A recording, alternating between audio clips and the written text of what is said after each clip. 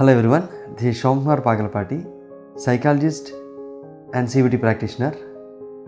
Today I want to discuss about one test that is Autism Spectrum Screening Questionnaire which is useful for the autism spectrum disorder people and mainly it was using for the high functional autistic people which are some differences only we can find from the normal children which they are from the same age group.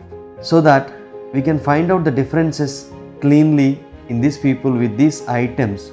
And we can differentiate them for calming their symptoms or to giving them the good skills. And this screening tool have a 27 items which is three options yes no and somewhat and we have to give answers carefully for that. And then we have to see the score. How much we have a symptoms. We means that children have a symptoms.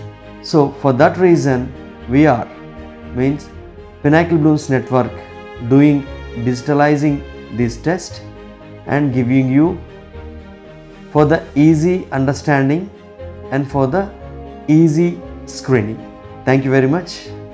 All the best from pinnacle blooms network